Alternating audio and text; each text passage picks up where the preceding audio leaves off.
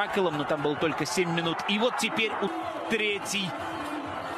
Это желтая карточка будет, наверное. Но как же это красиво. Обязательно нужно... Ой, ой, ой, ой, ой, ой, ой, ой, Это стоит и желтый, и даже штрафа в команде.